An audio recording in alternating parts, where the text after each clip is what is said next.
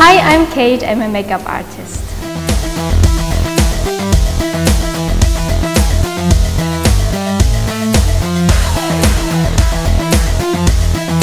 I've been doing makeup um, all my life actually because my mom already started when I was 14 and since then I was helping her out all the time.